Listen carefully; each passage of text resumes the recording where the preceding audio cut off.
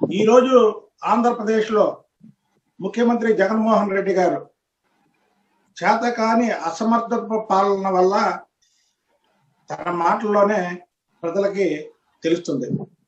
భవిష్యత్తులో అందరికీ కరోనా వస్తుంది అని జగన్మోహన్ రెడ్డి గారు మాట్లాడడం చాలా విడ్డూరంగా ఉంది. కరోనా జ్వరం లాంటిది వస్తుంది పోతుంది అని జగన్మోహన్ రెడ్డి గారు చిన్నపిల్లవాళ్ళగా ఒక రాష్ట్ర ముఖ్యమంత్రి అయ్యుండి చిన్నపిల్లవాళ్ళగా మాట్లాడడం చాలా విడ్డూరంగా ఉంది. ప్రజలు హాస్యాస్పదంగా ఆ మాటలు విని నవ్వుకుంటున్నారు. పక్క రాష్ట్ర ముఖ్యమంత్రి కేసీఆర్ గారు కరోనా గురించి ఎలా మాట్లాడుతున్నారు? ప్రధానమంత్రి మోడీ గారు ఎలా మాట్లాడుతున్నారు? మన రాష్ట్ర ముఖ్యమంత్రి జగన్మోహన్ రెడ్డి గారు ఎలా మాట్లాడుతున్నారని ప్రజలందరూ కూడా వేరే చేసుకుంటున్నారు ఈరోజు. అలాగే వచ్చిపోవడానికి ఇదేం జ్వరం కాదు వైరస్. కరోనాతో సహజీవనం చేయాలని జగన్మోహన్ రెడ్డి గారు అంటున్నారు. జగన్మోహన్ రెడ్డి గారి చేతకానితనం వల్లే ఇప్పటికీ ఈ పొజిషన్ ఉంది ఈ రాష్ట్రం. వార్డుల్లో కరోనా బాధితులు సహజీవనం చేస్తుంది. చాలదా? జగన్మోహన్ రెడ్డి గారు చెప్పండి మీరు.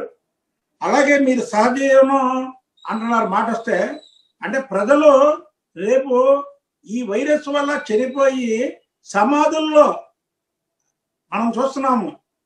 ఇటలీలోనే ఇంకొక దేశాల్లో గుంపులు గుంపులుగా శవాలను పడేసి ఒకసారిగా కాలుస్తున్నారు. కాల్చడానికి కూడా స్థలం లేకుండా.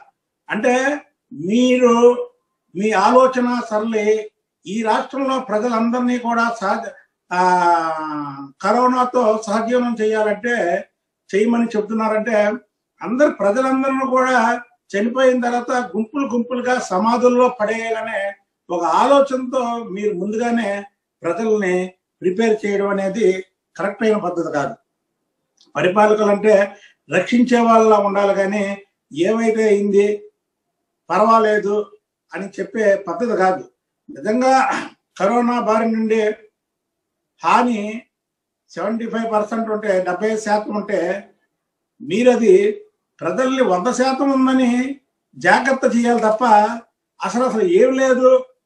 మీరు పదండి దాంతో సహజీవనం చేయాలి. రేపు అందరూ కలిసి కాపురం చేయాలి.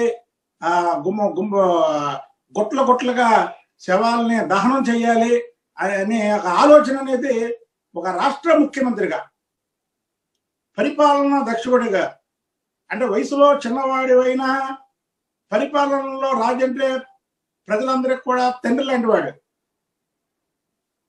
మరి ఇలాంటి విపత్తు పరిస్థితుల్లో చంద్రబాబు నాయుడు గారు ఒక తండ్రి పాత్ర పోషించి ఎలాగుండేవాడో మనందరికీ తెలుసు ఈ రాష్ట్ర ప్రజలకు కాదు దేశ ప్రజలకు కూడా తెలుసు. ఎందుకంటే ఆయన పక్కనున్న రాష్ట్రాలలోని విపత్తు వచ్చినా సరే ఆయనే స్వయంగా వెళ్ళి అక్కడ జాగ్రత్తలు చేసుకోమని పాటించి పాటించమని చెప్పే చంద్రబాబు గారు ముఖ్యమంత్రిగా చేసినటువంటి ఆంధ్రప్రదేశ్కి ఈ రోజు మీరు ముఖ్యమంత్రిగా పనిచేస్తున్నారు.